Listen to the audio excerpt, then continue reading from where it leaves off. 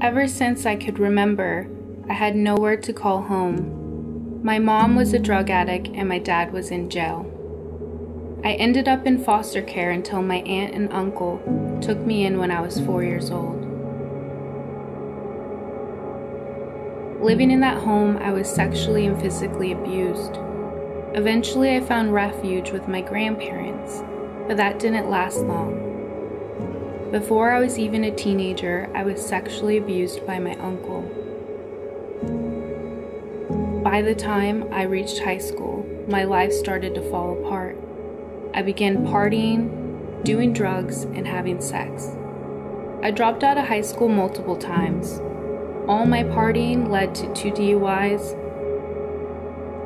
and shortly after, I found out I was pregnant. I was lost and I didn't know what to do. At this point, a lot of people told me to have an abortion. I just couldn't stop the lifestyle I was in.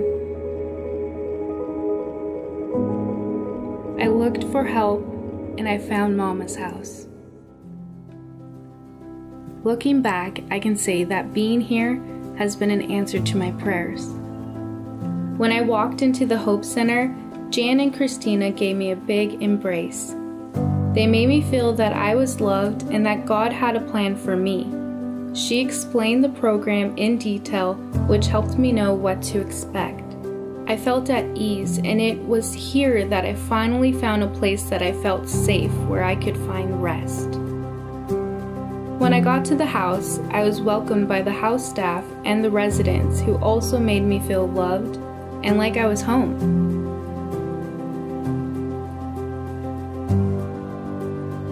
They then showed me to my room, which they had prepared for me. It is something that I never had. Everyone was ready to help me and support me. The staff members worked together by introducing me to Pathway to Success, a fast track that helped me set and meet my goals. The house manager and case coordinator met with me weekly to keep me accountable. They were always there to encourage and push me to do my best. Within the Pathway to Success program, I was able to finish high school. I was also able to attend California Nurses Educational Institute and get my license to become a certified nursing assistant. Twice a week, I was able to meet with licensed therapists, which helped me make wiser decisions and learn to cope with everyday struggles. For the first time in my life, I felt like my voice was heard.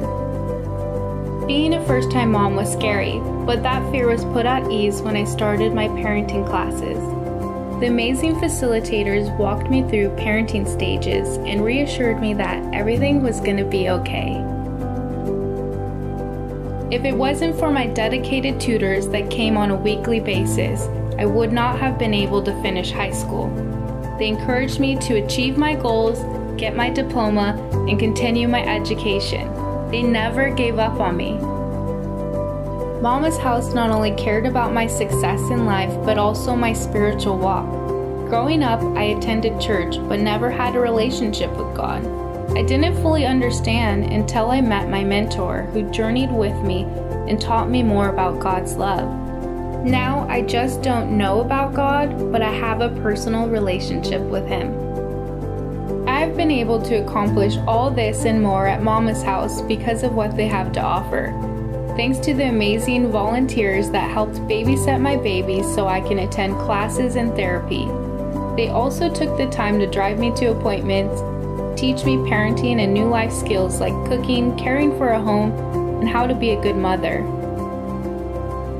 Now I feel equipped and ready to raise my baby so she can have a better life and prayerfully never have to experience some of the things that I've had to go through.